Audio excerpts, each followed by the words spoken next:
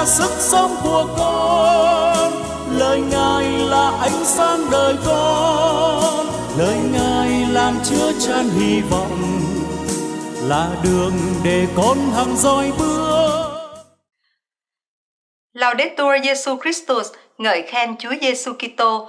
Việt Catholic xin kính chào quý vị và anh chị em trong tình yêu thương của Chúa Kitô và mẹ Maria. Kính thưa quý vị và anh chị em, trong chương trình suy niệm lời Chúa hôm nay, cha Vincent Nguyễn Văn Định sẽ đến với quý vị và anh chị em qua bài phúc âm hàng ngày, chia sẻ lời Chúa và suy niệm. Mến chúc quý vị và anh chị em một buổi suy niệm sốt sắng và an bình trong Chúa.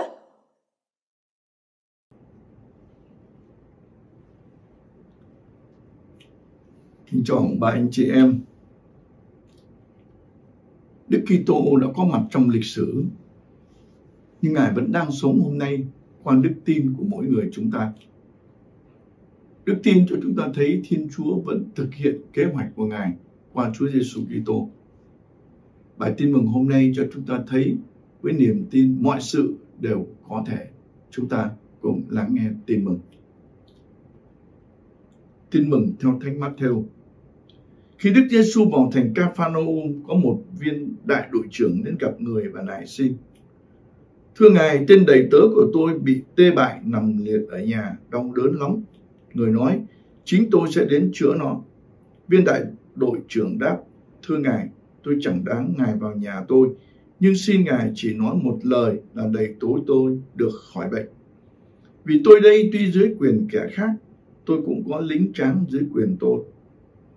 Tôi bảo người này đi là nó đi, bảo người kia đến là nó đến, và bảo người nô lệ của tôi làm cái này là nó làm. Nghe vậy Đức Giêsu ngạc nhiên và nói với những kẻ theo người rằng tôi bảo thật các ông tôi không thấy một người Israel nào có lòng tin như thế. Tôi nói cho các ông hay, từ phương Đông phương Tây, nhiều người sẽ đến dự tiệc cùng các tổ phụ Abraham, Isaac và Jacob trong nước trời.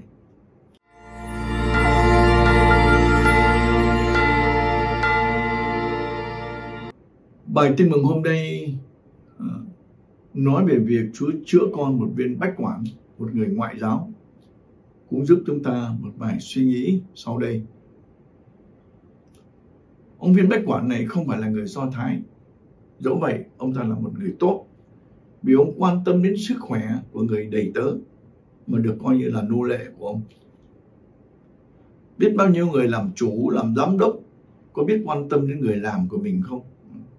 Đang khi ông này đích thân đến gặp Chúa Giêsu để xin chữa lành cho người làm công của mình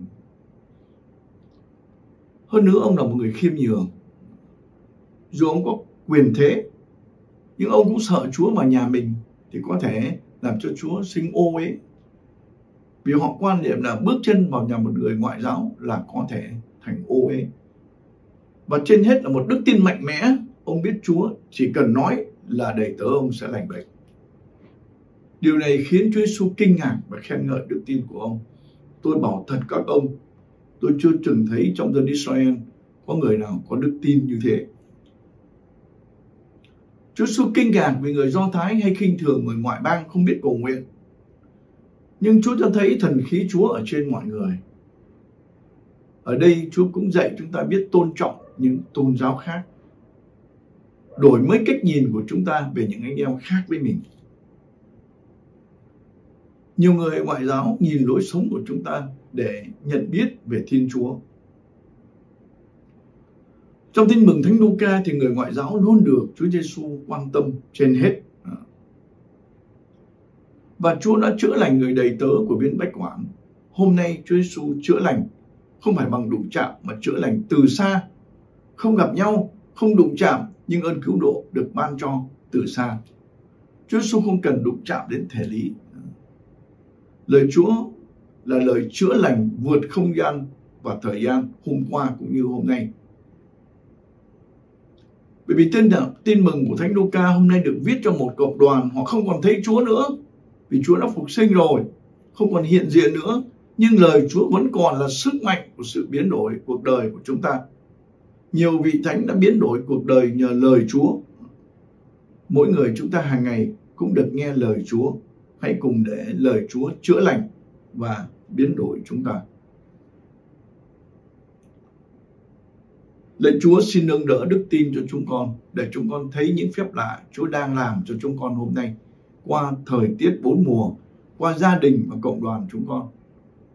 Xin cho chúng con biết đọc lời Chúa mỗi ngày để lắng nghe Ngài và nhận ra kế hoạch của Chúa đang diễn ra trong dòng lịch sử cứu độ hôm nay. Amen.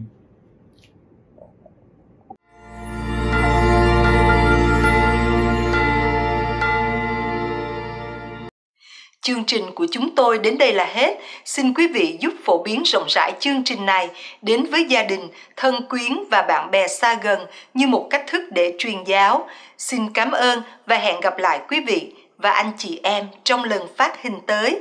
Laudetur Jesu Christus, ngợi khen Chúa Giêsu Kitô.